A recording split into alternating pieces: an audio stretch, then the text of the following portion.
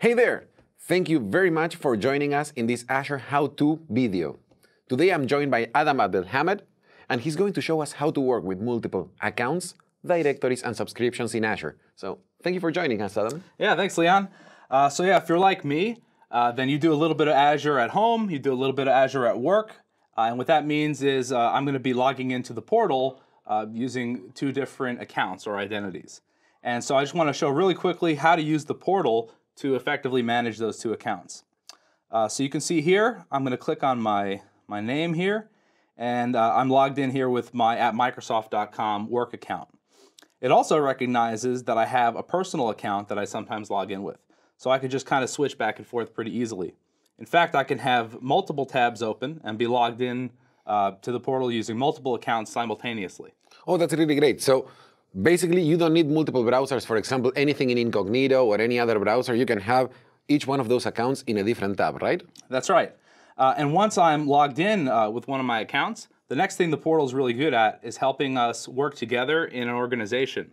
Uh, and in, in, Azure, organizations are referred to as directories. Uh, so what you're going to see if I click over here is that associated with my account are a few different directories that I've and a couple that I've favorited here. The first one is the Microsoft directory. That's where all of our sort of internal Azure resources live. Uh, and then the second one here, uh, which is the one I'm, I'm logged into right now, is used for our user research activities when we bring users in for usability studies.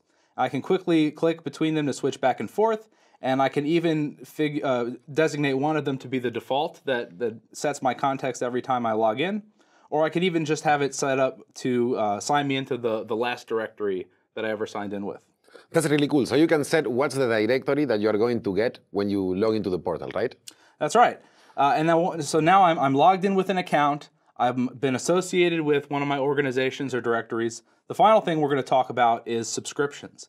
So up here, you can see that I've got this set of subscriptions. A subscription is basically your billable container for Azure. So for every subscription you have, you're going to get a bill. So when I'm logged in with my personal account, I, I probably only have one subscription and, and the complexity here goes away.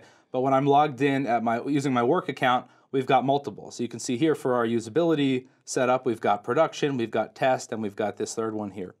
Uh, and I could be looking at all information from all of those subscriptions at once, and you can see the, the resource list sort of updated there or I can filter down to, let's say, only be looking at my production subscription.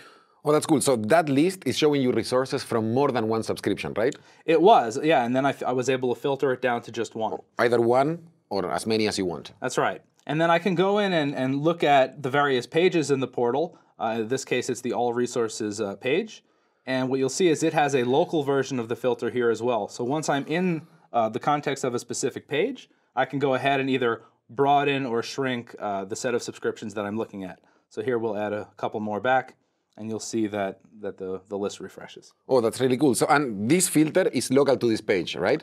That's right. So what's going to happen here, if I were to go ahead and refresh the portal, then the filter that I had established globally is going to be remembered. And that's going to roam with me from the device to device um, as, as, you know, wherever I go but then the local filters will sort of reset back to, uh, to that state every time they load. That's very cool.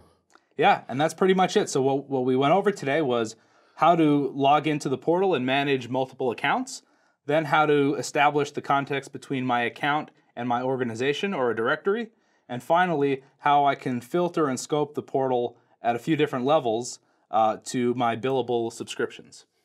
Thank you very much, Ahmed. This was great. And thank every one of you for watching.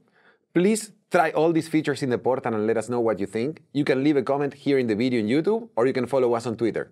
Thank you very much and see you soon in our next video.